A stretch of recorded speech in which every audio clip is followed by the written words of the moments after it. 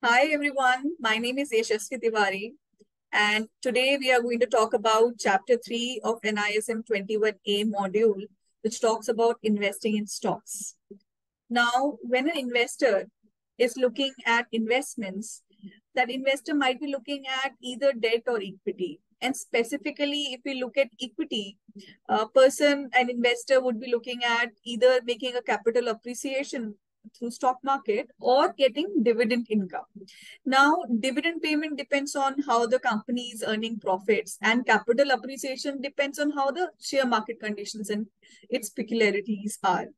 So, an investor has to uh, uh, choose between debt and equity. If let's say an investor wants to go for lower risk and want to is willing to accept stable or lower stable returns, they might choose debt. However, if you have if there is an investor who would want higher returns, that investor might be uh, want might want to take an additional risk of equity investments.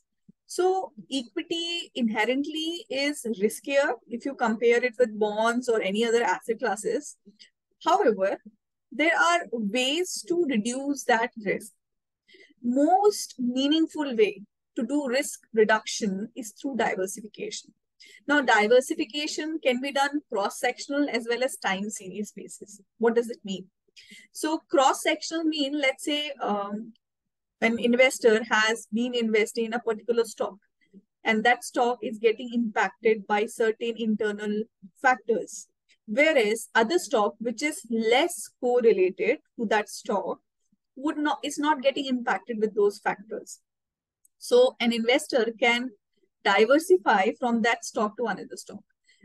Overall, try to an investor try to will try to find out those uh, stocks or those portfolios which are less correlated. So if they are less correlated, it means this diversification will work. So one can diversify uh, sector specific, one can diversify stock specific. That's how the non-market risk can be diversified. So this is what cross-sectional diversification means. Diversifying across uh, your sectors or stock specific or country specific. However, when we are talking about time specific diversification, it's about keeping yourself invested for a little longer period in time. So find taking the advantage or taking the benefits of time diversification is by investing in equities for a little longer period of time. So it's a belief that actually bad times will get cancelled out by good times. So this is why time in the market is suggested in equity investment versus timing the market. Now let's talk about what kind of risk might be there. So there are various types of risk associated with equity investments. We will talk about few major risks today. So the risk which we are talking about is uh, not are not all the risk, but main risk which we'll cover. So in that first one is the market risk and the most important risk in equity market. Ma what is market risk? It is because of the fluctuation which happens in the price of equity because of various market conditions that is called market risk. Now these the factors which is impacting prices in the market is in, in is actually impacting all investment irrespective of a particular sector or anything. So therefore this risk cannot be diversified but it can be hedged. How you will calculate the market risk? It is calculated by beta other type of risk is sector specific risk. So uh, sector specific is also non-market risk. It is not a market risk. It can be diversified since it is a non-market risk. So there are certain risk factors which might be impacting performance of a particular business or a particular sector. Whereas same factors might not be impacting other sector or other businesses. So that can be diversified if you are diversifying across those two sectors which are non-correlated. Third type of risk is your company specific risk. Company specific risk is generally a non it's it's a non-market risk. It is because of the factors which is affecting performance of a particular company. maybe those factors are not impacting other company. So diversification is uh, investing in different companies with where the factors are not impacting. So fourth type of risk is liquidity risk. Now liquidity risk is about uh, it's about how uh, quickly you can convert your investments into cash without getting impacted too much. How it is calculated, we have spoken about liquidity risk in earlier chapters also. It is measured by impact cost. The impact cost is a price movement, which is in percentage term, because of a particular order size. If there is a particular order size, because of that, a percentage price movement is there, that is known as impact cost. So in case of illiquid investments or less liquid stocks, which are less traded, a single trade, a single large trade might impact the prices of the stock uh, considerably. However, if there are stocks which are very good, which are liquid stock, which we call it liquid stock, they might, they will have lower impact cost and they will have lower liquidity risk. Other than equity shares, there are another types of shares also. These shares are known as preference shares. Now, what are preference shares? Preference shares are actually uh, ranking above the equity shares. If we look at the payment of dividends and distribution of company net asset in case of liquidation. So these shares has equity characteristics as well as debt characteristics also. When I talk about equity characteristics, it means these shares uh, might not have voting rights, but has a dividend feature attached to it, which might be fixed in some cases. Whereas uh, if I'm talking about debt case, it means the dividend payment is fixed. So it has characteristics of equity as well as debt. That's how sometimes it is also known as the hybrid security. Dividends of preference shares are either cumulative, non-cumulative, participating, non-participating, or might be a combination. For example, non-cumulative, non-participating. What is a cumulative preference, preference share? In a cumulative preference share, the dividends which has not been given in the past will get accumulated and will be given in a future on a future date. That are cumulative preference shares. In a non-cumulative preference share, the past dividends which were not paid earlier will not be paid in future. That is a non-cumulative preference share. So non-participating preference share uh, in which dividend are paid, usually it is particular, uh, usually at a fixed rate. It is not dep dependent on a company's earning. Like in common shares, it is dependent on a company earning. There's a discretion of the management whether they want to give dividends or not. But in this case, it will be in a fixed rate. That's why there's a characteristics of a debt instrument also.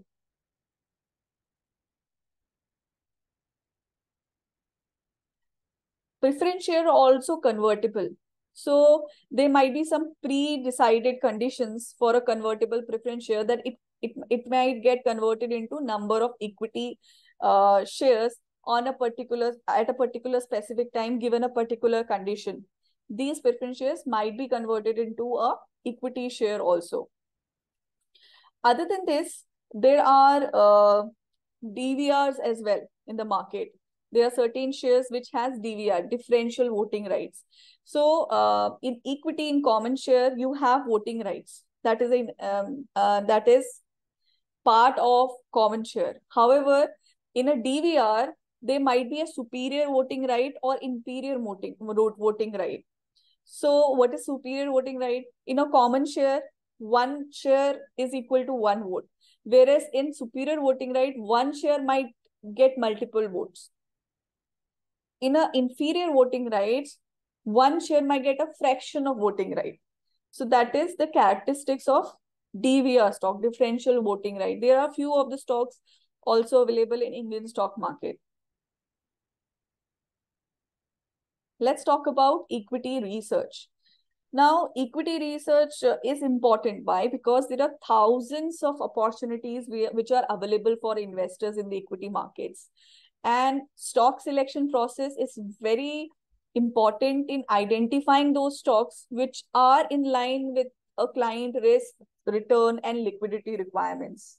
So what does equity research means? It means that you uh, one is analyzing financials, non-financial information of a company, understanding dynamics of a company, understanding the competitors in the company, understanding economic conditions, analyzing those things is known as equity research. Why do uh, one do an equity research such a way? After doing equity research, idea is to come up with an intrinsic value once you are uh, come up with an intrinsic value after doing equity research then you compare it with the current market price. And then you compare it and decide whether you want to buy hold or sell the stock. So uh, that's the uh, basic of equity research. Now in equity research let's talk about fundamental analysis. Fundamental analysis is the process of determining intrinsic value of the stock which also ideally equity research means. Now, uh, the intrinsic value of the stock is dependent on underlying economic factors. For example, the cash flows and the future earnings, which might be coming, interest rate, risk variables. By examining these factors, your intrinsic value is intrinsic value of a stock is determined. So investor should actually buy a stock if the market price is below intrinsic value. Otherwise, either not to buy it or avoid or sell the stock. So uh, investors who are engaged in fundamental analysis, they believe that the intrinsic value is different than the current market price. And eventually the current market price will uh, and intrinsic value will merge.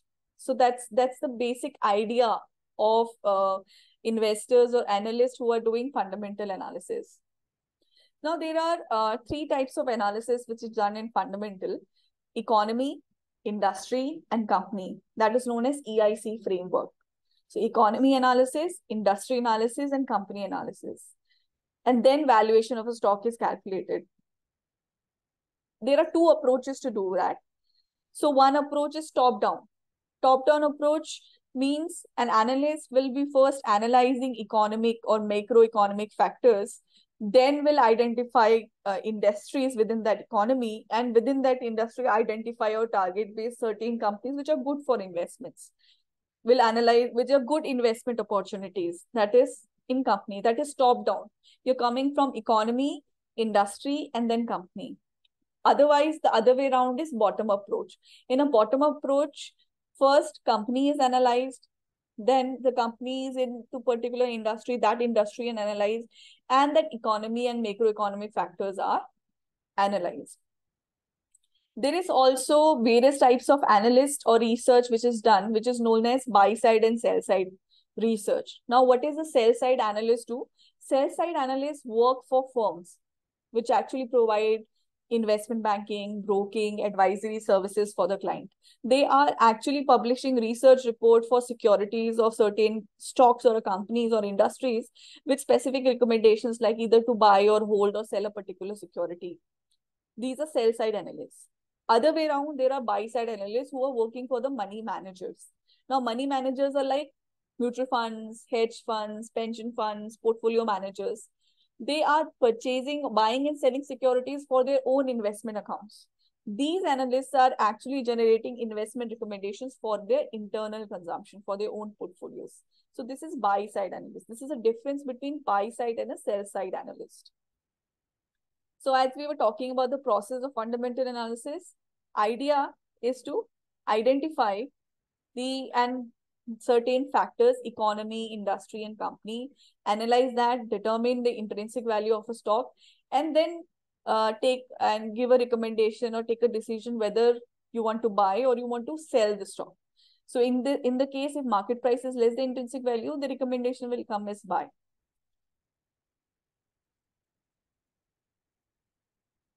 Uh, let's talk about economy analysis. Uh, so we'll uh, discuss from top-down perspective. Uh, let's discuss economy analysis first. So uh, macroeconomic factors, uh, which is influencing almost all industries and companies within the industry, that is the economy factors. for example, there is monetary and fiscal policy. Let's take an example. Let's say in a fiscal policy initiative, there is a tax reduction. When tax reduction comes, it encourages spending right? on the other way around, if there is removal of subsidies or there is an additional tax which is imposed, then it discourages spending. Similarly, in monetary policy, if there is a reduction of money supply, economy is going to be uh, affecting the expansionary plans. If there is a reduction in the uh, money supply. Whereas uh, other way around, if there is a increase in money supply, that is also going to impact the companies which want capital for their businesses. For any uh, macroeconomic forecast, that estimate should also be included. Estimates of certain variables in economy, for example, GDP, gross domestic product, inflation rate, interest rate, unemployment, etc. One of the most important thing which an analyst does is to watch out the release of various uh, these economic variables or statistics by the government. For example, they'll be looking at WPI and CPI indices of inflation. They'll be looking at industrial production data. They'll be looking at GDP growths. They're analyzing those numbers, understanding interest rate volatility, how it is impacting different industries. For example, if there is an interest rate volatility, it might impact more to a financial institution versus any other uh, a, industrial sector. For example, pharmaceutical might not get impacted by the interest rate change. So economy and stock market also has a very strong and consistent relationship. So uh, generally, stock market is known as a leading indicator of eco leading economic indicator. It means that uh, what does a leading economic indicator means that it is a measure of economic recovery, which actually moves first before that recovery has already come or will move faster than the economy. So at, because stock prices uh, reflect the expectation of a future economic and future economic and activity and not the past or the current activity.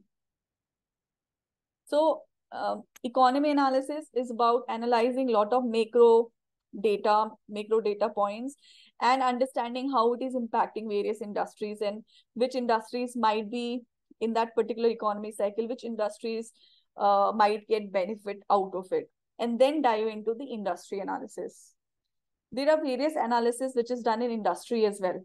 We'll go into understanding industry life cycle first. There are various stages in industry life cycle. So there are four stages. There is introduction stage, growth stage, maturity stage, and decline stage. Now, in introduction in this uh, uh, introduction stage, the uh, industry is new, so therefore sale is modest, not very good. Uh, the profits might be very small or negligible. They are very slow. High development costs are there. So introduction space, uh, introduction uh, point of in industry is at this point where it is kind of young and where your profit margins are low because sales is also low modest and your might be expenses a little higher at, at this point of time after in the industry which has gone through the introduction phase they move into growth phase. In a growth phase you might find so in the initial phase of the growth phase there might be less firms. There will be new products which are getting introduced in the system. There is less competition very high profits.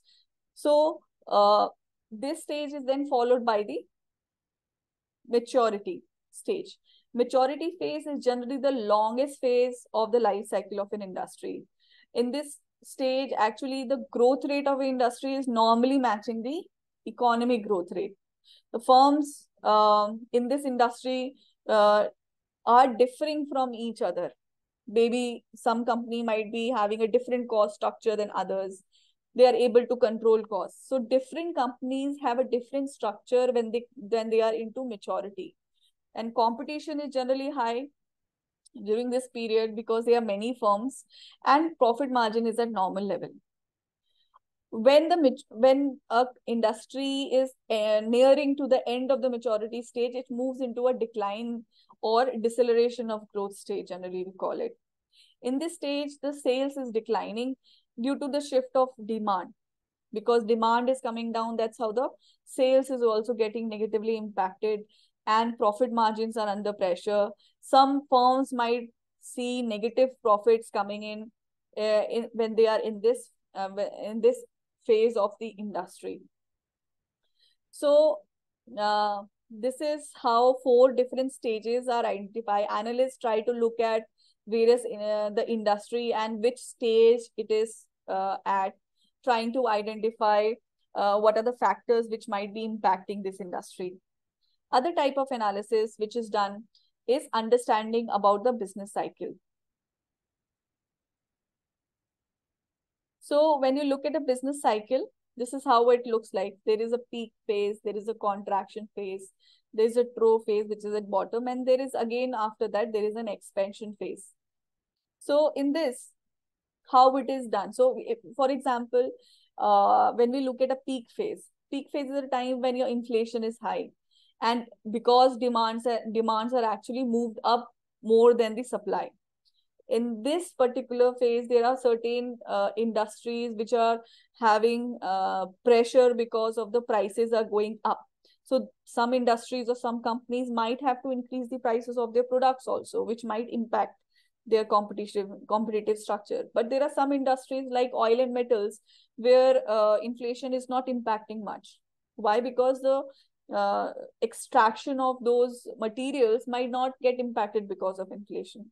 So these companies are able to increase their prices during these periods and they are able to get higher profit margins.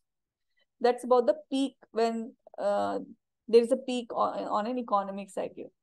Other phase is contraction. Contraction is uh, the time when the economy is towards the downturn.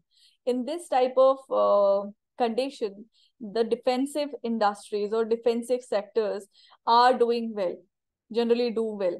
So, uh, like consumer staples, pharmaceuticals, FMCG, they are generally outperforming by others. Why they outperform others? Because even though uh, in a contraction phase, consumer spending power reduces, they are not going for discretionary items, but they might be going for necessities. And these companies provide necessities. One cannot cut the necessity. So these sectors uh, perform better than uh, historically has performed better in contraction phase versus other sectors. Banking and financial sectors, they perform at the end of this phase, towards the end of this phase. And there is a trough.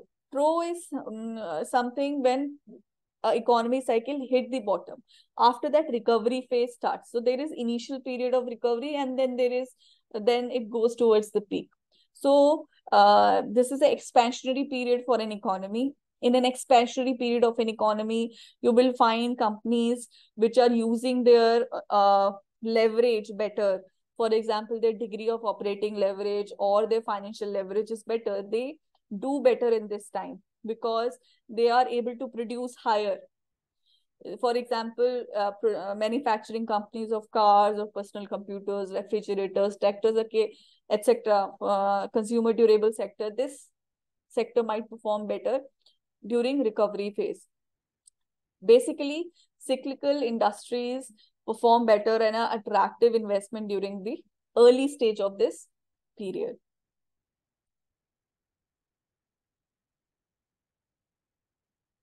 let's go into another analysis of industry, which is known as Porter's five forces model. Now, Porter's five forces model has five forces, which is inherent in the model. Uh, so let's look at these five forces. So there are forces, your rivalry among the competitors within the industries.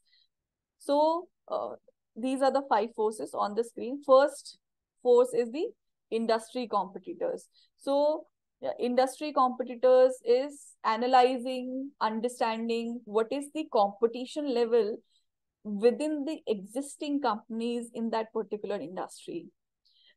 If there are many companies of similar size in the industry, they generally their competition is very tough and the it is very high. Rivalry is increased during that time. So they are actually uh, fighting very hard at a full capacity and it is very hard to sell so uh, how much is the level of com competition within the existing uh, players in that industry that is analyzed in the first component. Second component is the new entrants, the threat of new entrants. Now it depends on within the industry, how is the entry barriers of that industry? For example, if the cost of setting up a company in the industry is too high, that is a high entry barrier. It is not, uh, so in that industry, it's not easy for a new entrant to come. And when a new entrant come, it uh, that particular entrant might influence the industry and their participants, their competition in a different way. Also, uh, it influences the future competitive structure of industry. Also, it is impacting the profitability of the existing firms in the industry. You have various examples within Indian industries where whenever new competitors have entered or bigger players have entered in an existing firm, existing industry, uh, it has changed the dynamics of that industry.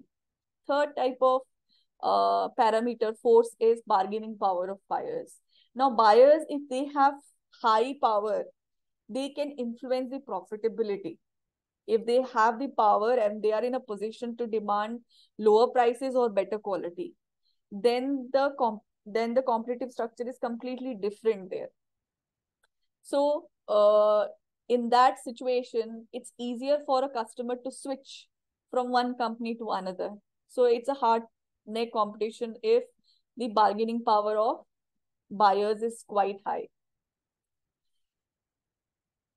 Then there is threat of substitutes.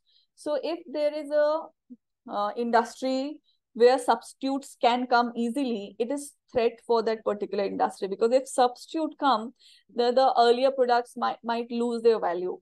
So greater the substitutability of the product, lower is the profitability margins because that substitute is eating away the profits of the existing firms. Last force in this is bargaining power of suppliers.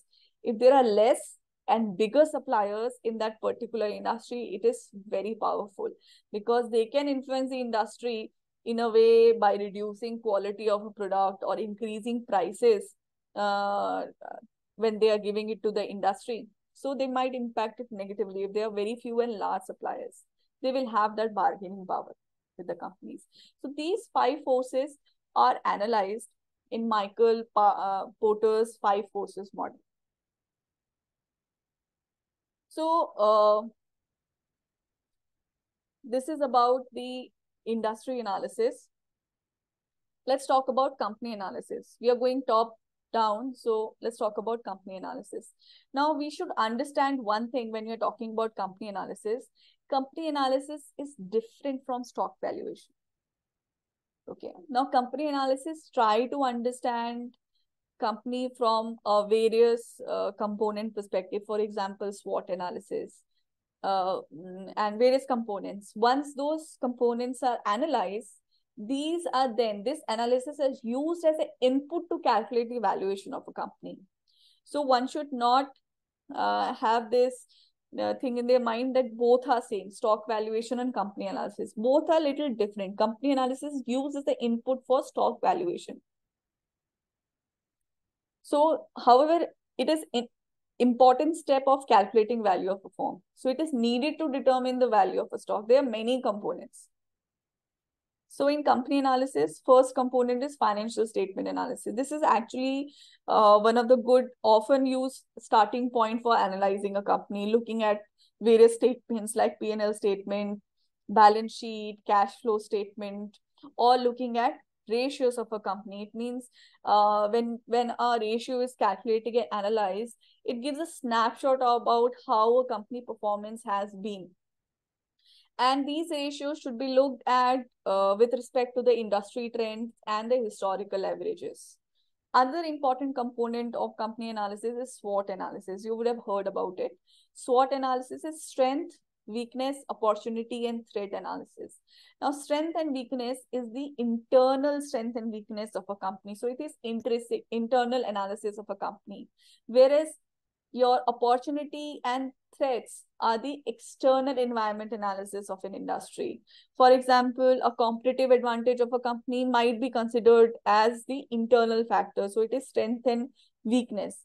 whereas uh, a particular policy on tax is an external environment which is impacting all the companies in the industry, which is external. If it is favorable, it is an opportunity for a company for that particular industry. So as well as for a company. Other type of component is your competitive strategies.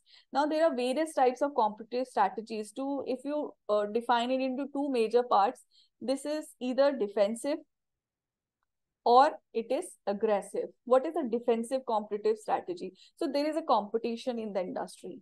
There, these competitive forces are impacting that company. A company which is using its capabilities to deflect those forces, that is a defensive strategy.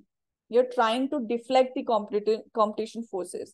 Whereas a company, when they use their own strengths to affect the competition competitive forces, they are using aggressive strategy. These are two different types of strategies here. Other than that, there are two more strategies given by Michael Porter suggested. It's just cost leadership and differentiation. In a cost leadership, a company or a firm might be looking at becoming a cost leader of industry. They might be selling lowest uh, cost product in that industry. So they are becoming leader there. Other way around, a company might be trying to identify themselves as a differentiated firm. So they might position themselves as giving something unique to their existing or their clients or their customers. So they are using, they're differentiating themselves within the industry. That is differentiation industry. Last component is business model. Now, business model, it's about, it's one of the most important step of company analysis, most important component. Now, in this component, an analyst uh, try to answer various questions uh, related to business model of a company. For example, what does a company do? How does it do it? Uh, what are the various com- customers in this uh, company? Who are these customers? And who is buying products and services of this company? Why are they buying this uh, these products and services of this company? How does a company is serving their customers? Do I understand this business well? So trying to understand what is the model of that particular company.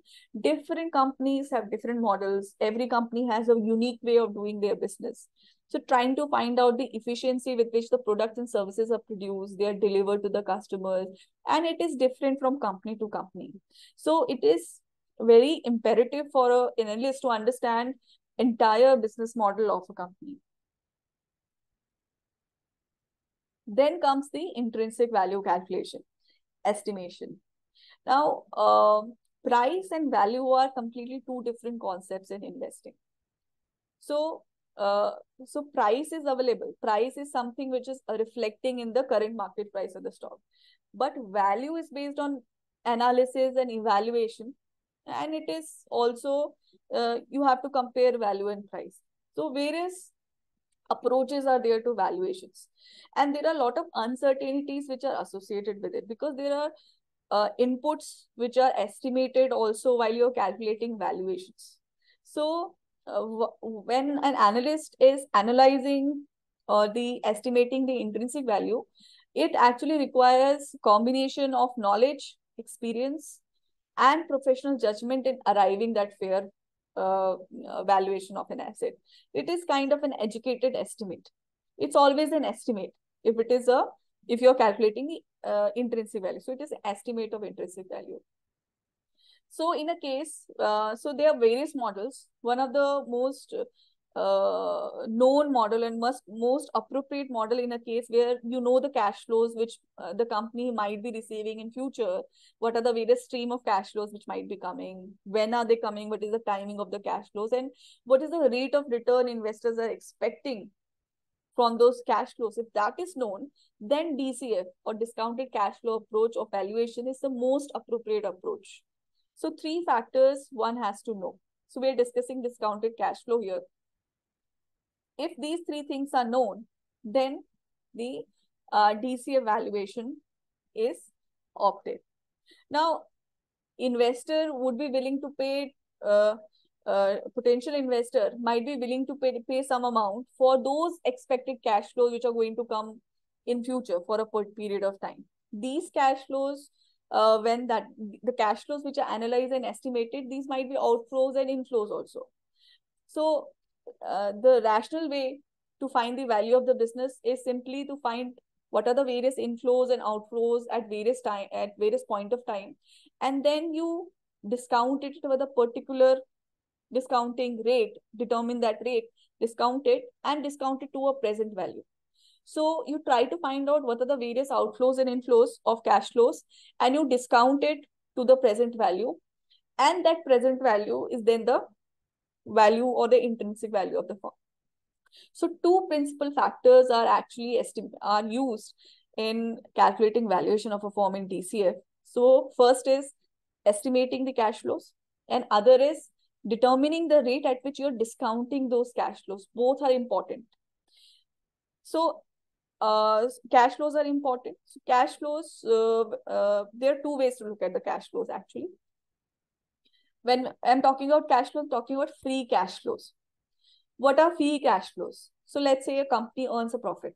They have, uh, after paying uh, certain expenses and expense, uh, certain expenses in a particular time period. So there is profit left out. That is a earning which is available for a common investor. However, uh, there are uh, other parameters also which, which can be added or reduced from those earnings, which might give you a free cash flow data. So free cash flow is how much cash flow is available for the investors, be it a debt investor or a capital investor or both investors. How much is it available after paying the expenses of that particular period and whatever capital uh, for maintaining the uh, capital assets, uh, the cost which is there, reducing that and reducing the expenses, expenses, what cash is left out at the end. That is free cash flow. Now, free cash flow is calculated. in, There are two types of free cash flows. So you have free cash flow to firm and free cash to equity. What does free cash flow to firm mean? So uh, the free cash flows which are available before the payment of any debt outstanding which is taken into consideration, that is free cash flow to firm. Uh, if you look at equity holders, so uh, cash flows, dividends are not the only cash flows which will come or which is for the equity investors. So whatever earnings are there, if you reduce the interest payments or debt is deducted from free cash flow uh, and the borrowings is deducted, after that what is left out is actually the free cash flow available for investors. So uh, if we look at the formula of how the free cash flow firm is, so this is the earnings, earning before interest and tax. So you reduce the tax component, add the non-cash expense. Now depreciation, what is depreciation? When you bought a particular uh, fixed asset, or uh, in this case, uh, tangible asset, it is depreciated over a period of time. Now depreciation is then uh, is, is a component as an expense in a P&L statement. However, when a depreciation is there in a P&L statement as an expenses, actually though money is not going out, cash flow is not going out. That's why it is added back. So any non-cash expense which is there in a P&L statement is then added back because actual cash is not going out. And then then increase on, then you reduce the increase in working capital or you decrease the in uh, the working capital. Okay. So you reduce the increase in the working capital or it, or you add the decrease in the working capital and then you reduce the capital expenditure which is because of the sale of an asset. When you do this, you come to a number called free cash flow to firm. Free cash flow to equity is calculated from free cash flow to firm. So from free cash flow to firm, you reduce the interest component and the add the net borrowing. Then the free cash flow to equity comes in place. So uh, this this is about the first component of the DCF is about the cash flows. These are the cash flows. Now comes to the second part. Second part is at what rate should should one discount these cash flows to come to the valuation of a company. So uh, in that case, there are certain models uh, which are used. In this case, for estimating value of equity, cost of equity is calculated by using your CAPM model, that is capital asset pricing model. For discounting free cash flow to firm, weighted average cost of capital is used. For uh, discounting free cash flow to equity, cost of equity is used. Okay. And cost of equity is calculated by capital asset pricing model. So capital asset pricing model in which cost of equity is equal to risk-free rate plus beta multiplied by ma market risk premium. What is market risk premium? The market return minus the risk-free rate is the market risk premium. So uh, this is also known as the required rate of return. Cost of equity is also known as the required rate of return. And then this is calculated and FCFE, that is free cash flow to equity, is discounted by cost of equity. So uh, FCFE is used. However, let's say a company has uh, negative earnings, negative EPS, negative data, uh, and the cap or the capital structure is about to change in future. At that time point of time, free cash flow to firm is used. Uh, for discounting free cash flow to firm, uh, uh, or weighted average cost of capital is used. Now, this is the formula of weighted average cost of capital. Cost of equity multiplied by weight of equity plus cost of debt, which is after tax multiplied by weight of debt. Now, cost of equity is calculated by capital asset pricing model. And uh, your cost of debt is actually the debt which is prevailing interest rate in the economy of the comparable credit quality, that particular rate can be taken or the rate at which the company has the net borrowing or the borrowing of a company, that rate can be taken as a cost of debt. What is weight of equity? It means how much in total capital there is equity. Similarly, what is weight of debt? How much is debt in total capital? So let's understand it, this by using an example. Let's say, let's say there is a company which has a beta of 1.25, risk-free rate is 6%, and market risk premium of the country is 9%. How do you calculate the cost of equity uh, using CAPM model? So what is CAPM model? You use required return or cost of equity is uh, required return or cost of equity is equal to risk-free rate plus beta multiplied by market risk premium. In this case, risk-free rate is 6%. So 6% plus beta, beta is 1.25, that is market risk, but multiplied by market risk premium, which is 9% for that country. So you put that all that in the formula and you get the cost of equity or required rate of return. How do you calculate WACC? Let's take an example. Let's say the market value of equity is 30 lakhs market or the value of a debt is 20 lakhs. What will be the total capital? Total capital will be 50 lakhs. That is equity plus debt, which will be the total capital. Cost of equity in this case is 4%, cost of debt is 6%, tax rate is 35%. So how do you calculate weighted average cost of capital? Cost of equity is given, you just need to calculate weight of equity. Cost of debt is given, tax rate is given, you just need to calculate weight of debt. Now, what is weight of debt? It is debt in total capital. Now, total capital is 50 lakhs. So, 20 lakhs divided by 50 lakhs, that is 2 by 5 is debt weight. In equity, it is 30 lakhs divided by 50 lakhs, which is 3 by 5, which is equity weight. You put all that in the formula. You get this weighted average cost of capital. So, you can, uh, this uh, examples will help you understand how the calculation can be done.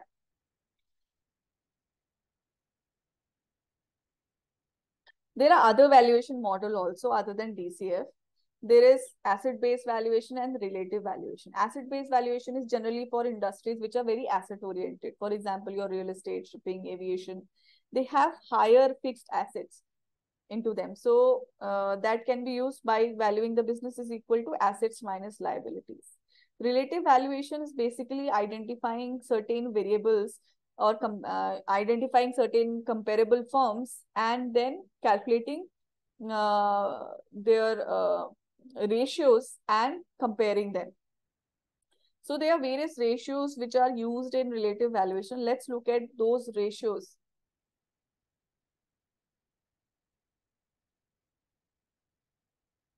First ratio we're talking about is price to earning. What is price to earning? That is simply current market price divided by the EPS. Right?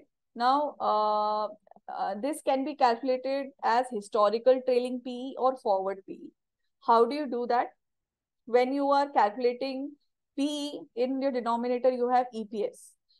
If in a denominator, you use past one year, last four quarters of EPS, that is your historical or trailing PE. If you use projected next one year EPS, next one uh, one year that is four quarters of EPS, that is your forward or leading PE. So two different types of PE. So how does PE number, what does tell oh, PE number tells you?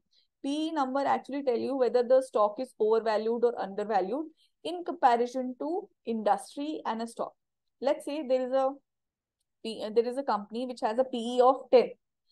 What does this 10 mean? It means that for uh, investor is willing to pay 10 rupees for every 1 rupee earning of a company. Now, uh, that again itself doesn't make sense unless you compare it with industry PE and historical PE and the peers PE. Then you uh, compare and you find out if the PE is higher than the industry or the peers, you'll say it is overvalued. If it is lower than the industry historical or the and the peers, you will say it is undervalued. So P ratio also needs to be calculated on a constant basis because you can see the uh, uh, numerator is current market price. It keeps on changing. So you have to use relevant P for calculating that. Next ratio is price to book value. There are times when uh, the companies are not profitable. So their earnings will be negative. So if it is a negative P, you will not be able to use PE ratio. So there, for that, there is price to book value. In this price to book value, current market price is not divided by EPS, but divided by the book value per share. Book value is derived from the balance sheet of a company. Uh, now, balance sheet has assets which are at historical prices, less their depreciation. So in few industries, it might not be relevant to use price to book value to calculate whether the stock is overvalued or undervalued. Right? So, uh, for example, uh, if a company's stock price is lower than its book value, it will indicate two things.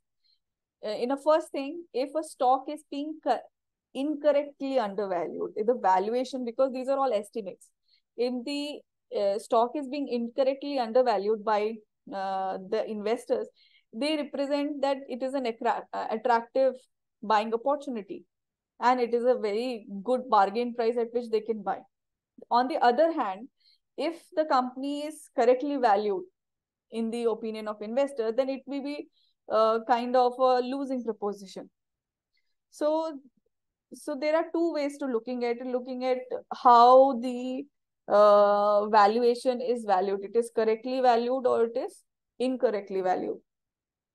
It is, uh, as I said, it since the book value is the historical cost of assets, and there are certain industries which might not it might not be relevant for those industries where you do not have market value of those assets.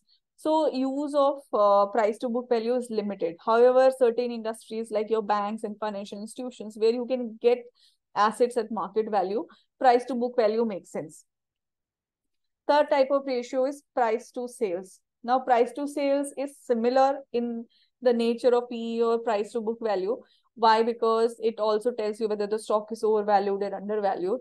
However, there are certain investors, they might feel that earnings can be manipulated. And since all of these are um, estimates, it can be manipulated also by on the PA, PNL statement. So uh, why not look at sales data? Because sales data is less prone to man uh, manipulation. In those cases, uh, generally price to sales is used. Then there is price earnings to growth ratio. It is also known as PEG, PEG ratio in short. So this ratio is actually is one step superior than you than your price to earning ratio. So uh, this is this ratio may be used to express the extent to which the price that an investor is willing to pay for a company whether it is justified by the growth of the earnings. So assumption is generally when somebody is buying a high PE stock, they say that because this particular company or this particular stock in future might give you higher returns, that's why we are buying this higher PE stock. Even though it is overvalued, I'm buying it. How do you uh, uh, check it whether you are buying correct stock or not. You can use PEG ratio to check what is the degree of reliability of those growth assumptions. So thumb rule is if the PEG ratio is 1, it means that the market is valuing as per the strong uh, stock estimated EPS growth rate. If it is less than 1, it means that EPS growth is uh, potentially, it might surpass the market current valuation. And stock is undervalued. On the other hand, is PEG ratio uh, is opposite to that, means higher than 1. It means it is overvalued. So this is how you interpret PEG ratio also. Then comes your economic value added. Economic value added is measuring the true economic profit of produced by a company. It is also known as economic profit. How do you calculate it? You multiply invested capital by cost of capital in percentage terms. Reduce after tax net operating profit. Then you arrive at economic value added. Another uh, ratio is market value added. How do you calculate it? You calculate the current market value minus the original capital which is contributed by the uh, uh, investors. And if it is positive, it means the company has added value to the investors. If it is negative, it means original capital contributed is higher than what is the current market value. It means it is destroyed value. That is EVA, MVA. Other multiple is uh, EBIT by EV, EV by EBITDA. What is EV in this case? EV is enterprise value. What is what does enterprise value tell you? It tells you that if you want to buy a company today, if you want to buy the entire company, how much money is required? That is enterprise value. So enterprise value is calculated by adding market capitalization, total debt, and reduce all the cash and cash equivalents. That's how you calculate the enterprise value. So uh, enterprise value can be compared with the earnings. As you can see, EBIT is the earnings, EBITDA is the earnings. So this is EBITDA multiple and this is EBIT by EV. So you are actually checking how much times EBIT is to enterprise value. If it is higher, the better. So uh, this uh, higher ratio can give you uh, high ratio is actually telling the company is valued high in perception of the market participants. Okay, this particular ratio, enterprise value to EBITDA. This is higher the better. This is actually telling you whether it is from market participant um, perception, whether it is overvalued or undervalued. Then you have enterprise value to sales also. So how much, how many times enterprise value is to sales?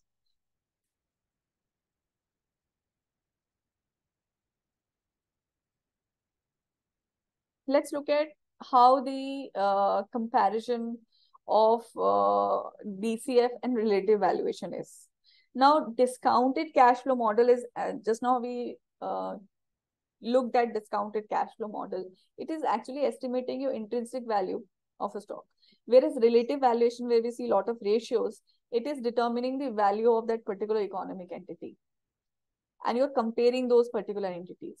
So discounted cash flow is actually dependent on growth of the cash flows. And and there is an estimate of the discount rate with which you discount those cash flows and bring it to the present value. Relative valuation uh, compare the stock price to the relevant valuables variables like you have stock value earnings cash flow book value etc if we go deeper if you try to understand these two techniques you will find that uh, these relative valuation multiples are just the simplified version of DCF. Let's look at an example. Let's look at PE ratio. Now, PE ratio uh, is actually comparing the price to the earnings which the company is generating. So it is a fundamental concept that the value of an asset is the present value of its future return which is coming in. So value is reflected by the current market price, right? So uh, the ratio is also influenced by the same variable that influence the value under the discounted cash flow techniques.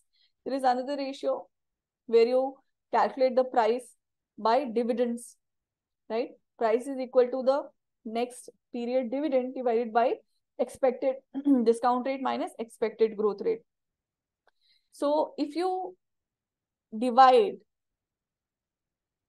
uh, this formula by next period's earnings, you will get price to earnings of next period by D1 by E1 and K minus G. Now, what does it telling you? P ratio is getting impacted by two variables. These are the two variables. There is K and G. So what is K? K is the expected, uh, K is the discount rate and G is the expected dividend growth rate. So higher the expected growth rate of dividends, higher would be the P ratio. And higher is the required rate of uh, return of the equity, lower is the P ratio. So this gives an idea of comparability of relative valuation and DCF. One can also use this formula to calculate price of the company. So let's say in this case, uh, if we calculate intrinsic value, a stock dividend is expected to grow at constant rate. What will be the intrinsic value of a stock if the dividend, next period dividend is rupees 3, K is 9% and G is 6%. G is the growth of the dividend and K is the required return of equity. So we put that in formula. Uh, P is equal to D1 divided by K minus G. D1 is the next period dividend 3 divided by your 9% required return minus the dividend growth rate 9 minus 6. So 3 divided by 0.03 that is rupees 100. So even the mm, uh, intrinsic value can be calculated using this formula just like a terminal value is calculated.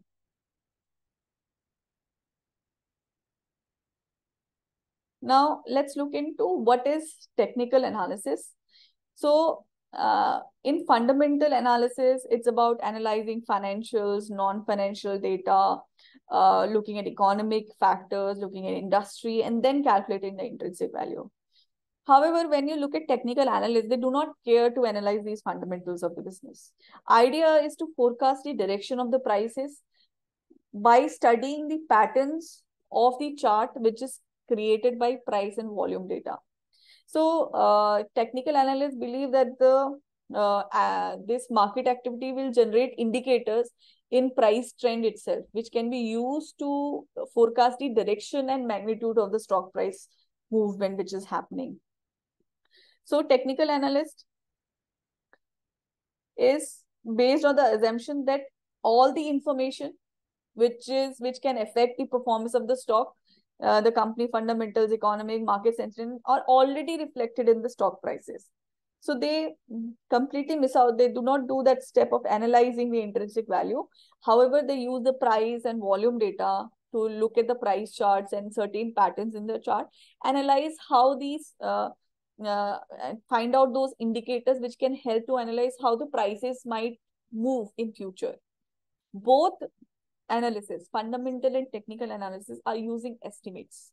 Both analysis are trying to find out whether you should buy the stock, sell the stock or hold the stock at a particular time period. So in technical analysis, uh, there are three things.